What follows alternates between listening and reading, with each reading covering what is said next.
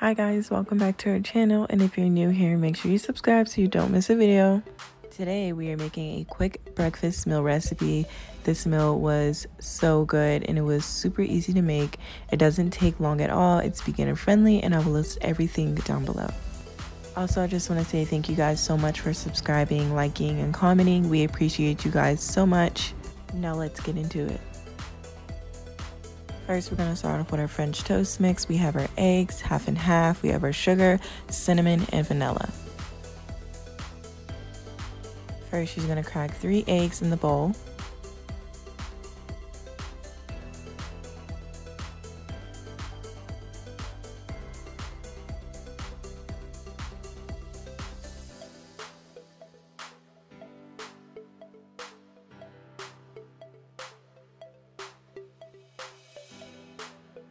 And then we're gonna add some sugar and some cinnamon. You can add how much you want to your liking.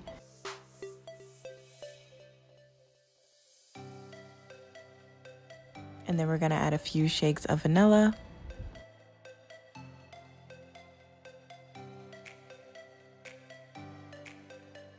And then we're gonna go ahead and stir that mixture in.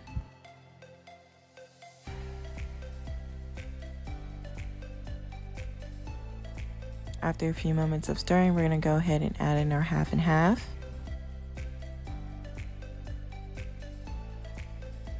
You don't need too much, you just need a little bit. And then we're going to go ahead and stir that mixture in as well.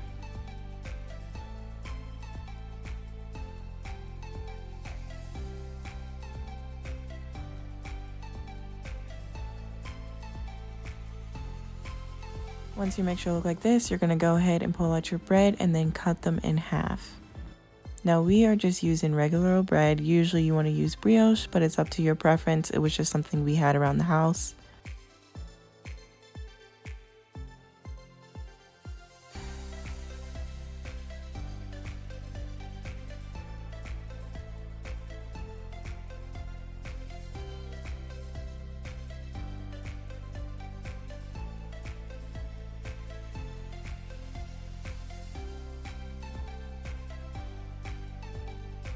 Once your bread is cut up, you're going to need a medium sized pan and then some virgin olive oil.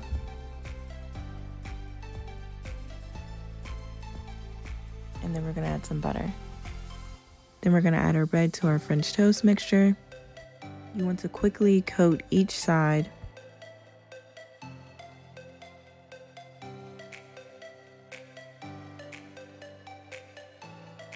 Once you cover both sides, just put it in the pan and then you're just going to repeat the process.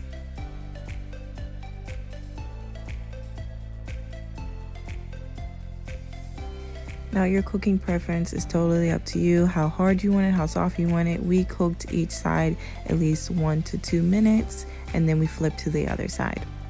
We like ours more on the soft side, so that's why we do one to two minutes. If you want more of a crunchier French toast, then I would do about three to four minutes.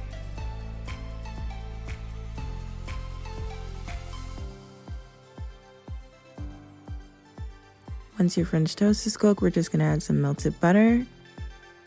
Then she's adding some cinnamon and sugar on top. This helps with the sweet flavor. Once you add it in, you can never go back. Next is our potatoes. We're gonna need a medium-sized skillet and then we're gonna use some virgin olive oil. You wanna add enough just so it can more so fry in the pan. Here we got our pre-cut veggies and then we have our pre-cut potatoes. And then we have our Candice Cook seasoning which I will leave down below. That's all you need. Once the skillet is ready we're going to go ahead and add in our potatoes first.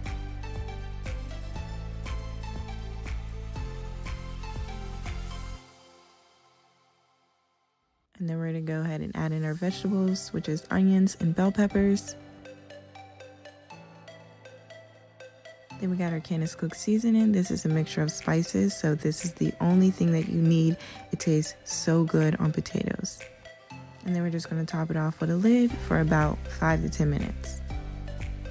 Next is the Granny Smith apple chicken sausage, which is life changing. It is so good. You have to try it, it's amazing. And then we put it in our air fryer for about 15 minutes.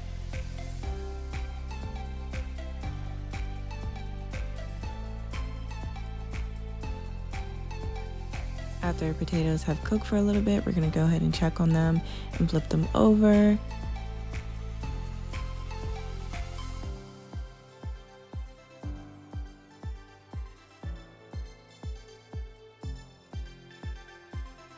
She ended up adding just a little bit more of the seasoning.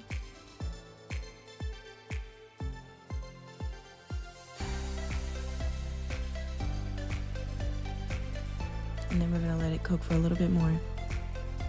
Now she's gonna make the eggs. We're gonna go ahead and crack up four eggs.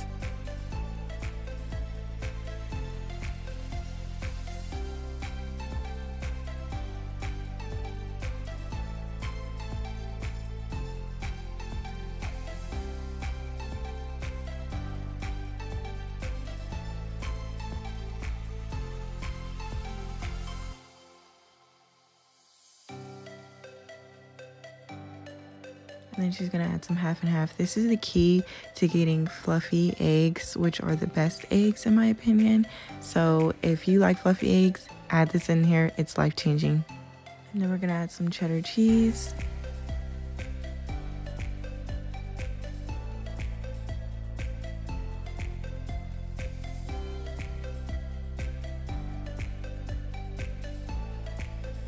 She's gonna add some gallo. If you don't use gallo in your eggs, what are you doing? Run to the store right now and go get you some. It is so freaking good.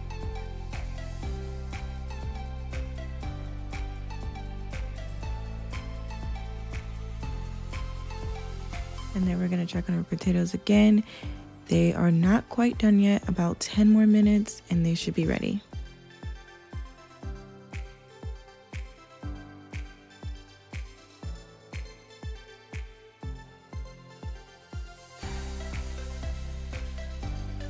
Then we're gonna add some sea salt.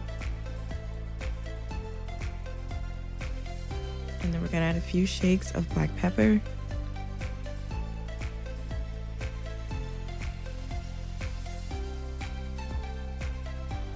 And then she's gonna stir everything together.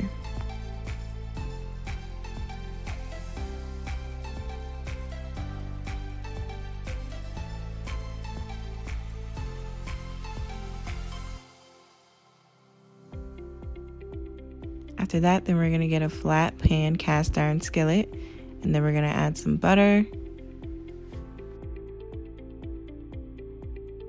Once the butter has melted, then we're gonna go ahead and add our eggs.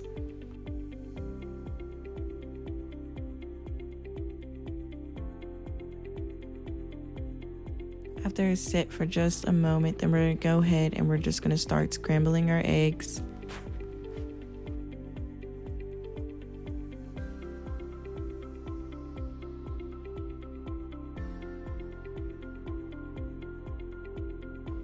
Now you're going to constantly keep stirring around your mixture of eggs. This helps get them fluffy and also cook a little faster.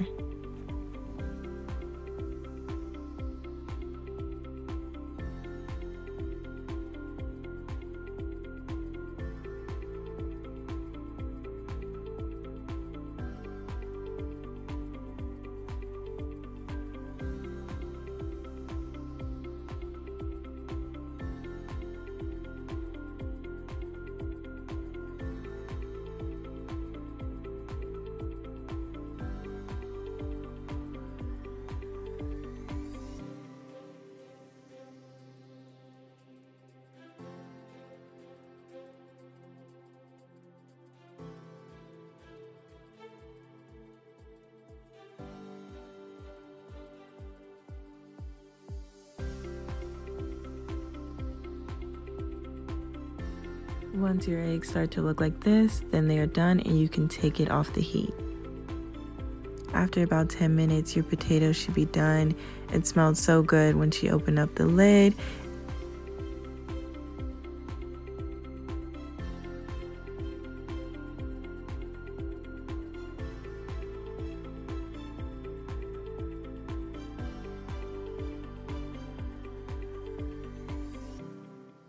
After your potatoes are done, your sausage should be done as well. If you guys want to see this plated, I will also post the shorts after this video is uploaded as well. And thank you guys so much for watching. If you like this video, don't forget to give it a thumbs up. And we'll see you guys in the next video.